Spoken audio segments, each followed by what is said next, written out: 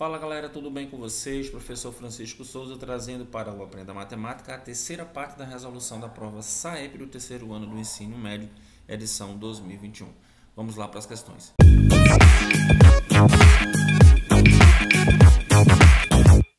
Questão de número 11. Carolina participou de um processo seletivo para a obtenção de bolsas de estudo em um colégio particular de sua cidade. Para isso, ela fez uma prova que era composta de 90 questões e, ao verificar o gabarito, constatou que acertou 72 questões. Qual foi o percentual de questões dessa prova que Carolina acertou? Bom, pessoal, uma das maneiras mais simples que a gente tem de resolver questões de porcentagem é utilizando uma regrinha de 3, que é essa dica que eu vou dar para vocês agora. Então vamos lá. Vamos montar essa regra de 3, que vai ser uma regra de 3 simples.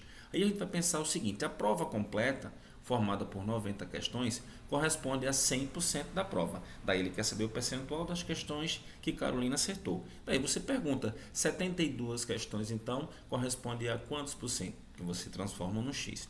Toda regra de 3 relacionada a um problema de porcentagem vai ser uma regra de 3 direta, simples. E aí basta você, para resolvê-la, multiplicar cruzando aqui. Fazendo essa multiplicação, ficamos aqui com 90 vezes x é igual a 72 vezes 100. 72 vezes 100 é igual a 7.200, então 90x é igual a 7.200. 90 está multiplicando, vai passar dividindo. Então ficamos aqui com x igual a 7.200 dividido por 90. Cortando o zero de cima com o zero de baixo, ficamos aqui com 720 dividido por 9, que é igual a 80%. Sendo assim, Carolina acertou 80% da prova. A alternativa correta da questão é a letra D. Questão de número 12. O conteúdo é razões trigonométricas do triângulo retângulo. Vamos ver aqui. Juliano fez uma casinha de madeira para o seu cachorro. Algumas medidas internas da parede traseira dessa casinha estão indicadas no figura abaixo. Qual é a medida da altura interna dessa casinha? A altura interna da casinha, pessoal, corresponde a essa altura aqui de 40 centímetros, mais essa diferença que tem aqui até chegar no cume da casinha. Então, além dos 40 centímetros, a gente tem essa diferença aqui. Essa diferença nós vamos chamar de x, ok? E aí vamos fazer agora o seguinte, vamos destacar aqui o nosso triângulo. Veja bem, destacado aqui o nosso triângulo, observe que a diferença x, ela vai corresponder a esse lado do triângulo aqui, que nós vamos chamar de x também. Que se a gente observar bem, ele é o cateto oposto a esse ângulo de 40 graus, beleza? Então, o que, é que a gente vai fazer agora? Deduzir a altura interna da casinha, que é o que a questão pede. Então, a altura interna da casinha vai ser esses 40 centímetros mais essa diferença x aqui. Aí, o que, é que a gente vai fazer agora? Vamos destacar o nosso triângulo aqui e analisar. Como nós vimos, esse lado x, que é o que a gente está buscando, é o cateto oposto ao ângulo de 40 graus. Se é cateto oposto, então o que, é que a gente vai fazer? Pensar aqui o seguinte, bom, 39 centímetros é a hipotenusa do triângulo. E aí a pergunta, qual a relação trigonométrica que envolve cateto oposto hipotenusa? Essa relação trigonométrica é o seno. Então está aqui, nós vamos calcular o seno de 40, o cateto oposto dividido pela hipotenusa. O cateto oposto nós vimos aqui, ele é igual a x e a hipotenusa é igual a 39. Então o seno de 40 graus vai ser igual a x sobre 39. Na tabela aqui em cima, o seno de 40 é aproximadamente 0,64. Então, trocando aqui seno de 40 por 0,64, nós ficamos com 0,64 é igual a x sobre 39. Então, x vai ser o produto aqui ó, na diagonal de 0,64 por 39. 0,64 multiplicado por 39 é igual a 24,96, que não é a nossa resposta. Por quê? A questão está pedindo a altura interna da casinha, então a gente vai ter que somar o x que a gente encontrou com esse 40. Fazendo essa soma aqui, substituindo o valor de x que a gente encontrou, 24,96 centímetros mais 40 centímetros, isso dá aqui um total de 64,96. Então, sendo assim, a alternativa correta da questão é a letra A. Vamos lá agora para a questão de número 13. O gráfico abaixo representa uma função f de r em r asterisco mais, tal que sua lei de formação é do tipo f de x igual a p elevado a x, mas que a lei de formação dessa função é.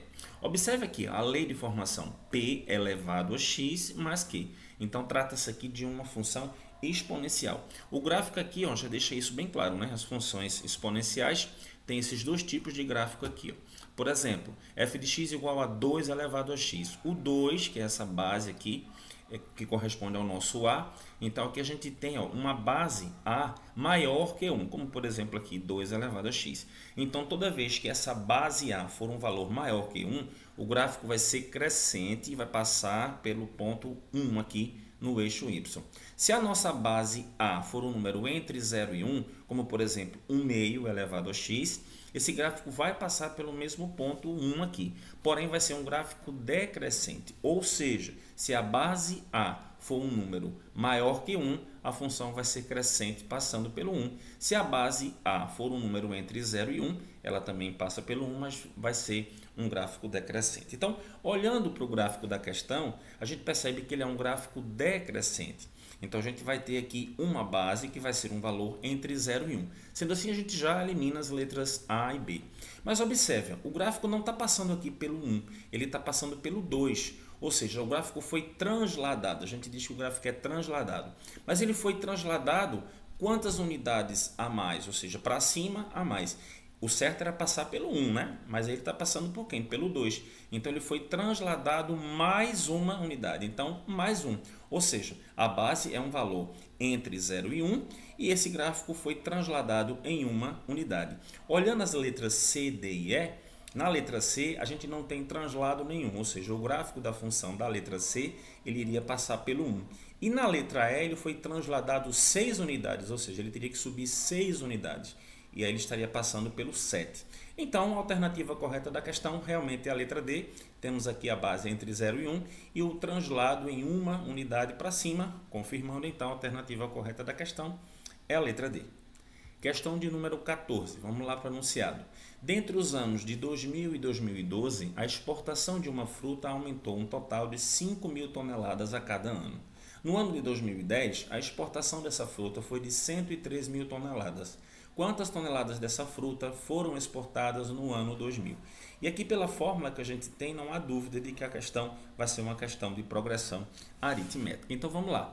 Dentre os anos de 2000 até 2012, cuidado com a pegadinha que tem aqui. Normalmente, quando a gente pergunta quantos anos estão envolvidos aqui, aí, como termina em 2012, a gente normalmente é, tende a dizer que foram 12 anos aí. Mas na verdade foram 13, porque a gente está contando com o ano de 2000. Então tá aqui, ó, de 2000 a 2012 nós temos 13 anos. Se fôssemos fazer uma progressão aritmética, onde os termos dessa progressão fossem os anos envolvidos, a gente teria uma progressão que seria isso aqui. Ó. O A1, o primeiro termo seria 2000, o A2, o segundo seria 2001 e assim por diante, até que o A13, ou seja, o 13 terceiro termo dessa progressão seria o ano de 2012. Mas a PA que nós queremos deve ter o número de toneladas exportadas. Então, assim, qual vai ser de fato a nossa progressão. Vai ser uma progressão onde o A11 vai ser igual a 103 mil. Porque, observa, no ano de 2010, diz o enunciado, a exportação dessa fruta foi de 103 mil toneladas. E esse 2010, ele é um termo que vai estar em que posição? Ora, se a nossa progressão tem 13 termos, então aqui a gente tem o 11 termo, o ano de 2010 é o 11 termo, o ano de 2011 é o 12 e o ano de 2012 é o 13 É dessa forma que a gente sabe que as 103 mil toneladas correspondem aqui ao 11 termo dessa progressão. E no caso então, qual é o termo que ele está querendo? Ele está querendo o primeiro termo, porque ele está querendo saber ó, a quantidade de toneladas dessa fruta que foram exportadas no ano 2000, ou seja, o primeiro dessa sequência.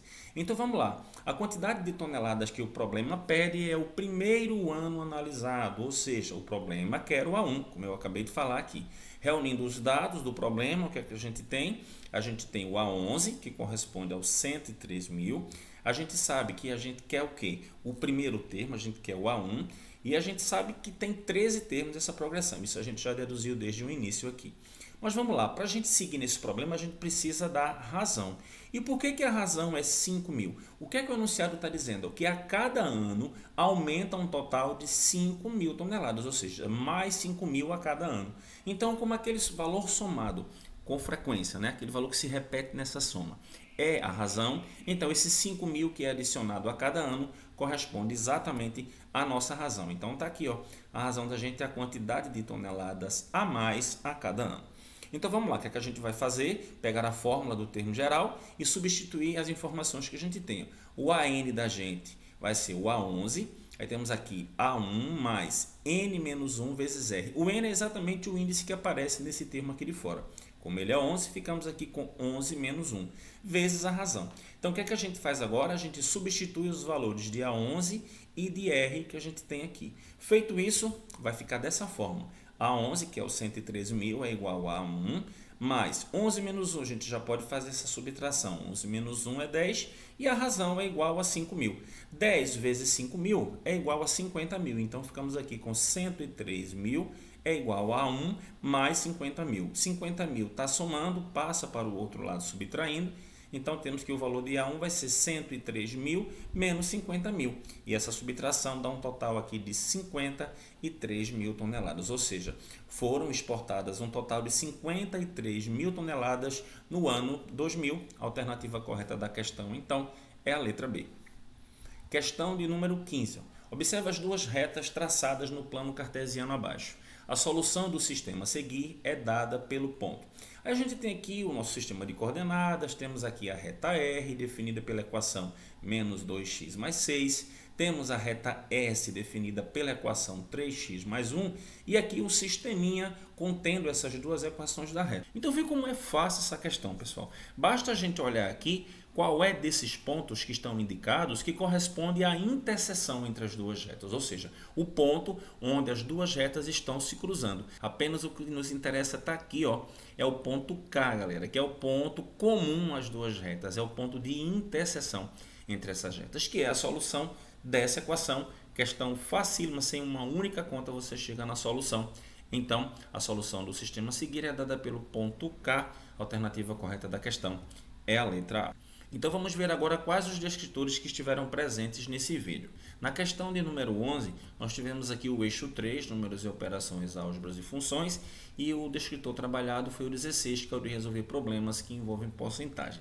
Na questão 12, a gente teve aqui o eixo 1, geometria, e o descritor trabalhado foi o D5, que é o de resolver problema que envolvam razões trigonométricas no triângulo retângulo, seno, cosseno ou tangente. Na questão 13, nós tivemos aqui o eixo número 3, novamente, e o descritor foi o D26, que é o de identificar a representação algébrica e ou gráfica de uma função exponencial.